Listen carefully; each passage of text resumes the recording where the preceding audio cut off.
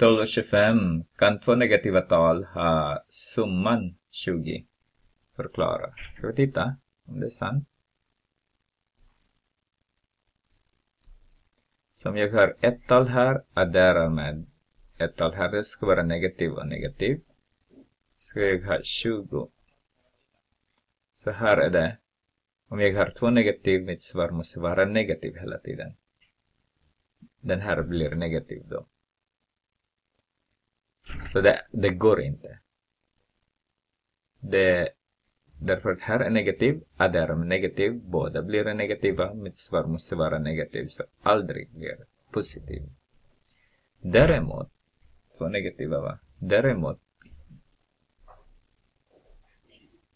eh, där och där.